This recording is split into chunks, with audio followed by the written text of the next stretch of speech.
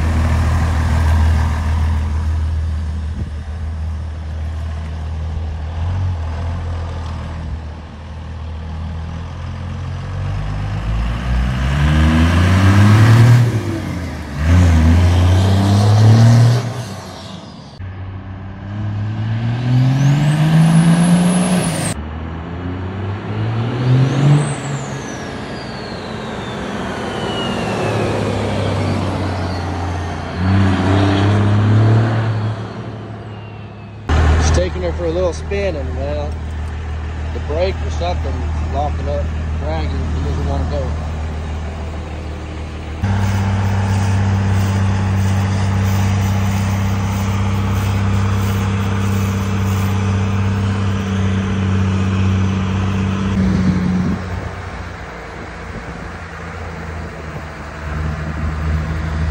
Well, we took it out for a first test drive, and if you listen to the video, you can hear this squeaking. We were hoping it was just the paint on the brakes, but yeah, it wasn't.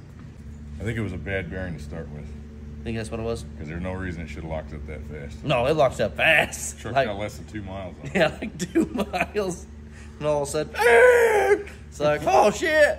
Anyways, shit happens. Bad bearings. Shit happens. We knew something was gonna have a That's why we problem. like O'Reilly's warranty. Yeah. It's the first thing that broke, but nothing's leaking.